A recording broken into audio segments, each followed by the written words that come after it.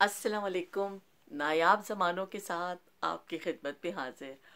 आज नायाब ज़मानों में मैं आपको बताऊँगी सर्दियों में खाने बनते थे ना जो आ, खाने से मुराद ये है कि जो मीठी चीज़ें वो हलवे वो गजरेले और और जड़िया पिनियाँ वो जो चीज़ें बनती थी ना उसके मुतालिक आपको बताऊँगी कि हर घर में मीठे के हवाले से बड़ा जी एहतमाम होता था कि भाई चलो सर्दियाँ आ गई ने कुछ मिठा बनाओ, कुछ ताकत दिया चीज़ें खाओ। तो उस हवाले से जो जो चीज़ें बनती थी ना, मैं आज आपको उसका बताऊँगी, जो मेरी यादों में जो चीज़ें महफूज है। तो सबसे पहले तो गजरेला बड़े अहतमाम से बनता था हमारे घर में। वो गाजर दिया सन और फिर कश करो और फिर दूध लेके आया जाता था। बिल्कुल हमारे घर के सामने ही ना बाड़ा था, बहुत बड़ा सा उसमें भैंसें थी, बड़ा खालिश, ओ इतना अच्छा दूध मिलता सी ना, वहाँ से दूध लेके आते थे और फिर वो खालिश दूध और वो फिर वो हल्की हल्की आग पे वो गाजरें डाल के और फिर गजरेला पकाया जाता था। इतना ज़बरदस्त और मीठा होता है ना सर्दियों में कि वो ज़रूर मेरा ख्याल दो, तीन तीन दफ़ा तो ज़रूर ही बनता था ना वो कि भाई ये मीठा बनना ही बनना और एडा देज का बनता सी वो सारा सारे ਢਿੱਡਾਂ ਵਿੱਚ चला ਜਾਂਦਾ सी वो बचता ही नहीं सी फिर गाजर का हलवा गाजर का हलवा भी बड़े अहतमाम से बनाया जाता था कि वो इतनी गाजरें आती थी और फिर उसको पहले अच्छी तरह आगे पीछे से करके उसको फिर छुरी से ही पहले तो करते थे अब आजकल तो बड़े अच्छे अच्छे पीलर टाइप आ गए हैं जब जल्दी जल्दी सीख कर लो उस वक्त नहीं था वो छुरी से टिक टिक टिक करके वो फिर उसको साफ़ किया जाता था फिर उसको धो के और फिर उसको एक कश होता था जिसे कश किया जाता था कद्दू कश और रख रख के फिर कद्दू कश के नाल ना फिर और सारे आओ भाई हिस्सा पाओ सारे हलवा खाना में तो गाजरा करी जाओ। वो इतना बड़ा देखचा होता था बाहर सेन में बैठ के ना हम फिर सब वो गाजरों का आ, वो कश करते थे। इतनी सारी जब गाजरें हो जाती थी फिर वो मेरी अम्मी उसको ना बनाती थी। मेरी अम्मी क्या करती थी, अगर दूध की मलाई बच जाती थी मेरे हाथों से तो फिर वो मेरी अम्मी उसमें डाल देती थी, वरना देसी घी डाल के भूनती थी। दूध बहुत अच्छा मिलता था, हमारे वो बाड़ा था ना सामने ही बिल्कुल तो वो बहुत अच्छा दूध, खालिश दूध मिलता था। फिर वो दूध में डाल के गाजरों को ना पकाया जाता है। फिर दूध में वो गाजरें गलती हैं, जब दूध खुश्क हो जाता है, उसमें ਉਹ ਫਿਰ ਉਹਨੂੰ ਜੀ ਇਲਾਚੀ ਪਾਓ ਤੇ ਫਿਰ ਪੁਨਾਈ ਉਹਦੀ शुरू करो दे तेरे दी पुन पुन पुन पुन फिर उसको इतना भूना जाता था कि वो घी दोबारा से वो छोड़ दे और गाजरे फिर उसमें आप बादाम पिस्ता मेवा जो कुछ भी डालना है ना ਬਈ ਤੁਸੀਂ ਉਹ ਤੁਹਾਡੀ ਆਪਣੀ ਮਰਜ਼ੀ ਹੈ ਜੋ चीज़ पानी है ਤੁਸੀਂ पा लो लेकिन ज़्यादातर हमारे घर में ज़्यादातर बादाम डाला जाता था बाकी चीज़ें कम क्योंकि वो फिर और इतना पसंद नहीं किया जाता तो बादाम डालती थी मेरी अम्मी और फिर वो हलवा तैयार होता था इतना ज़बरदस्त हलवा कि उसमें कोई वो नहीं डलता था ये जैसे आजकल बाज़ार में बिकते ना बहुत अच्छे हलवे आ गए हलवाई की दुकानों में पर उसमें उन्होंने वो डाला होता था डालते हैं वो क्या उसको कहते हैं मावा मावा डालते हैं वो चीज़ें वो लेकिन वो बाज़ार में तो पहले ज़माने में नायाब ज़मानों में वो फिर ऐसे ही सादा हलवा जो है ना बनता था घरों में इतना मज़ा आता था वो एक ख़ास उसका कलर होता था बड़ा खूबसूरत रेड कलर और फिर बस खाई जाओ तुसी ਤੇ ਤੁਹਾਡਾ ਪੇਟ ਨਹੀਂ ਭਰਦਾ ਸੀ ਬਈ ਉਹ ਕਹਿੰਦੇ ਆ ਨਾ ਕਿ ਪੇਟ ਤੇ ਸ਼ਾਇਦ ਭਰ ਹੀ ਜਾਂਦਾ ਸੀ ਨੀਅਤ ਨਹੀਂ ਭਰਦੀ ਸੀ ਇਤਨਾ वो शौक से खाते थे वो गाजर का हलवा सर्दियों में। फिर मेरी अम्मी एक बनाती थी पता नहीं अब उसको बेसन की मिठाई कह लें जैसे बेसन के लड्डू मिलते हैं ना बाज़ार में, इस तरह, लेकिन वो बेसन की टिक्कियाँ से बनाती थी। वो बेसन को अच्छा घी में डाल के भुना जाता था, जब अच्छी भुनाई हो जाती थी और घी छोड़ देती थी, फिर उसको चीनी पीस के उसमें ऐड की जाती थी। फिर उसको जब नीम गर्म सा हो जाता था, उसको मिला के फिर उसमें मेवा, बादाम, पिस्ता जो जो चीज़ा तो उसी पानियाँ पा के मिक्स करके फिर वो ट्रे में मेरी अम्मी जमा देती थी। फिर वो रात पड़ा रहता था। फिर सुबह उसके उठ के उसकी कतलियाँ जो बर्फ़ी की टिक्कियाँ नहीं काटते, ऐसे टिक्कियाँ काट देती थी। वो फिर डब्बा भर देती थी। वो खाए, इतना मज़ा आता था। वो हाथ ही नहीं रुकता था। भाई, मैं खुद स्टोरियाँ सुनानी मैं दस रही भाई असी तो इन्नियाँ चीज़ा खादियाँ।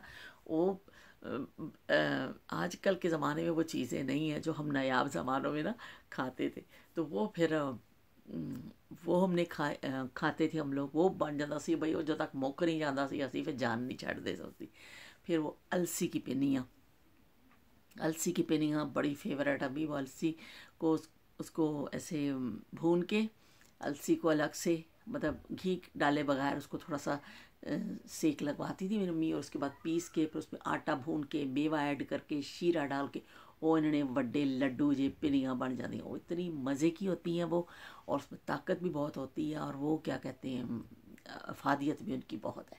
इसीलिए देखें, पुराने ज़मानों में जैसे लोग ये खाते थे, ये चीज़ें, और ये हलवे, और जी, ये चीज़ें, मेवे तो वो कितना उनकी उनकी सेहत भी अच्छी रहती थी और वो फिट भी रहते थे क्योंकि इन चीज़ों के फ़ायदे हैं। बेशक अब ज़्यादा ना खाएँ, लिमिट में खाएँ, पर खाएँ ज़रूर। लेकिन अब नायाब ज़मानों की चीज़ें जो हैं, अब वो लोग इतना पसंद नहीं करते हैं, अब वो लोग और मीठे आ गए हैं, जी ऐप बना लो तो जी ओ बना लो।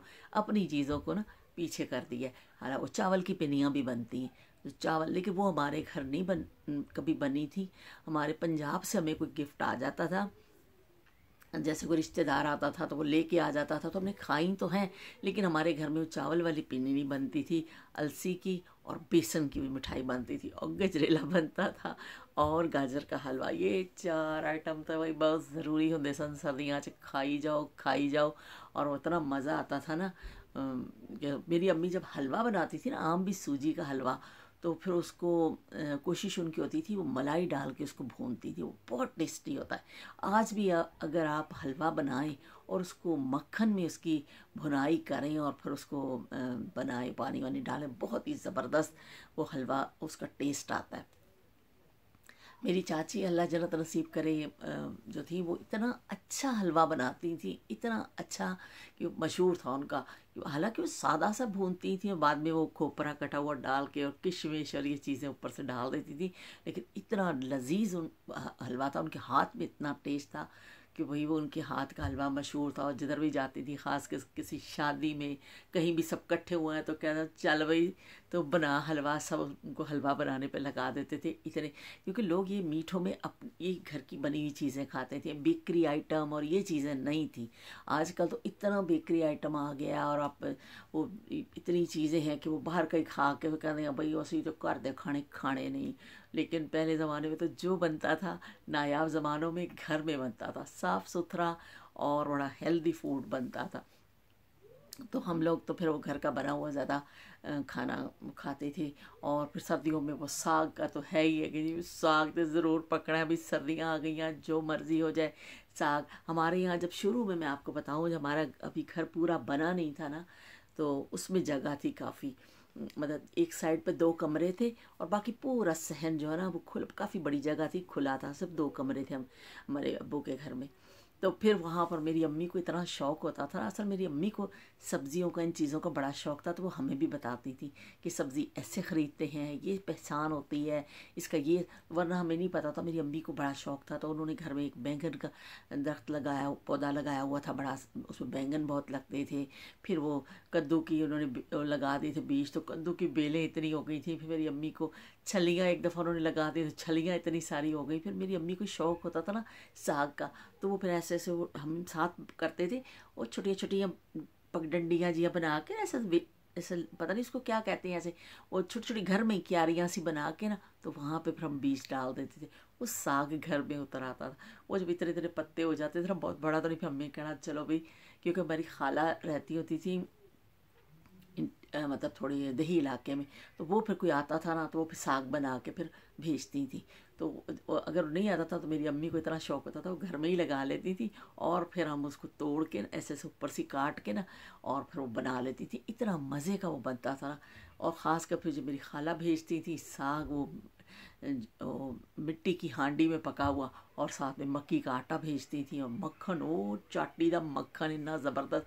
तो वो फिर सर्दियों की भी ख़ास सौगात थी। मेरे खालू एक चक्कर तो ज़रूर लगाते थे। खाला मेरी कहती थी कि, जाओ भाई दे के आओ तुसी साग। तो बेचारे स्पेशली बाद में साग देने के लिए आते थे। कहाँ से पका के चलते थे लोगों की मोहब्बतें? देखें कितनी थी कि मेरी खाला बनाती थी।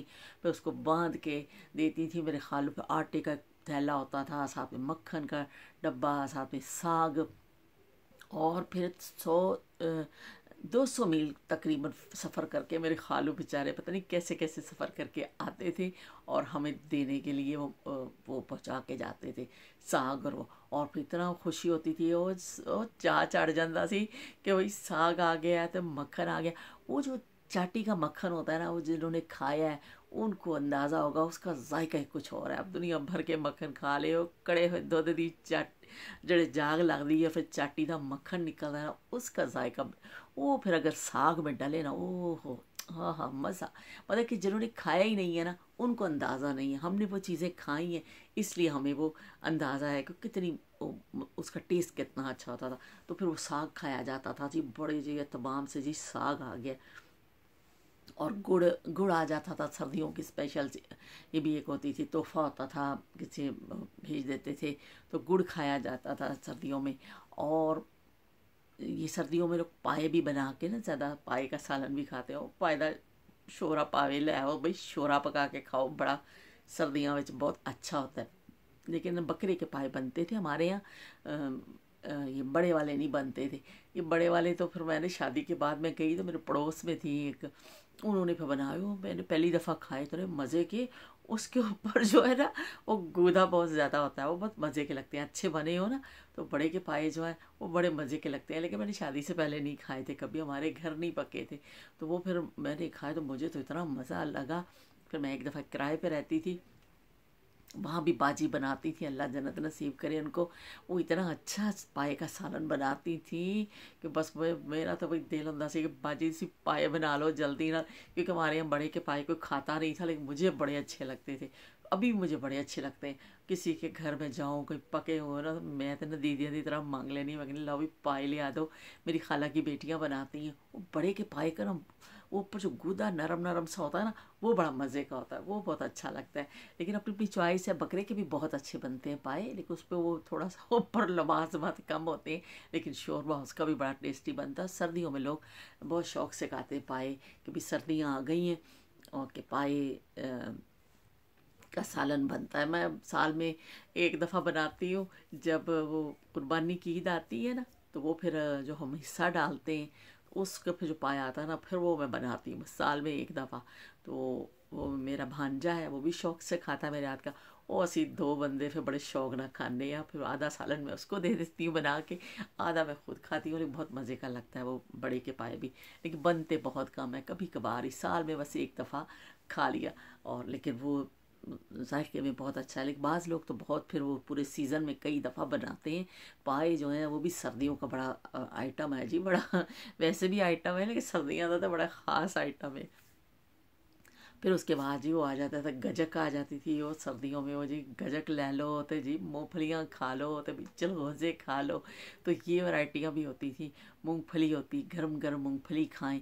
बस सर्दियों के अपनी ही जो है ना चीज़ें इतनी हैं, वो छलियाँ खाओ तो छलियाँ भी आ जाती हैं कि बड़ी वैरायटी शकरकंदी आ जाती है मार्केट में, वो सर्दियों की बड़ी वैरायटी हैं कि पे अच्छा भी लगता है क्योंकि आपकी बॉडी को एनर्जी की ज़रूरत होती है और बैठ के खाओ तो उसी को पिन्नी खा लो ना चाय पी लो या थोड़ा सा हलवा खा लो, कोई चाय शाय पी लो तो बड़ी मज़ा भी आता है और आपको एनर्जी भी मिल जाती है क्योंकि आपकी बॉडी को ज़रूरत होती है गर्म रखने के लिए एनर्जी की तो वो नाल नाल एनर्जी खाई जाओ तो नाल नाल खर्च करी जाओ, कोई मसला नहीं। तो ये खाने जो हमारे अपने घरों में बनते थे, साफ़ सुथरे खाने, हमारे ख़ास एक सर्दियों, हमारे घर में ये बनते थे। और सारे घरों में कुछ और भी शायद बनता हो, मैं तो सारे अपनी यादें आपसे शेयर करती हूँ।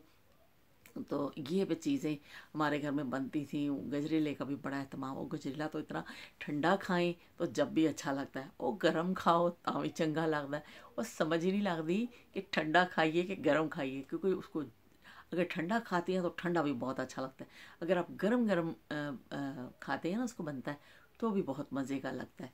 तो वो बहुत सारे घरों में बनता है। कोई ऐसी ये डिश नहीं है, लेकिन अब मेरा ख्याल है कम हो गए हैं लोग, कम बनाते हैं, लेकिन पहले, अब तो हमारे यहाँ भी बस वो गाजर का हलवा जो है ना घर में बहुत कम बनता है। जब मेरे भी बच्चे छोटे थे ना तो मैं बनाती थी, वो फिर मैं क्या करती थी, पाँच किलो गाजरें ले लेती थी और क्योंकि पूरे घर का काम भी करना होता था मुझे कि भाई वो बच्चे यूनिफॉर्म भी तोड़े हैं, सफ़ाई भी करनी है, खाना भी पकाना है ध्यान तो पहले और मैंने बर्तन भी धोने हैं, मैंने आटा भी गूंदना है, ऐसा।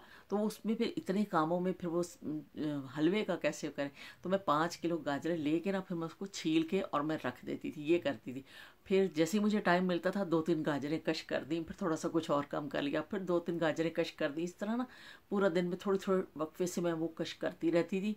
फिर वो जो है ना, वो शाम तक वो सारी कश हो जाती थी, गाजरें जो। फिर उसको मैं चढ़ा देती थी जो चूल्हे पे, वो पे पकता रहता था, फिर कुछ सुबह उठ के भून लिया, अब तो हलवा इस तरह तैयार हो जाता था, लेकिन मैं बनाती ज़रूर थी, पाँच किलो गाजरें लेती थी और अपने बच्चों को मैंने बहुत बना के दिया बहुत शौक से खाते थे।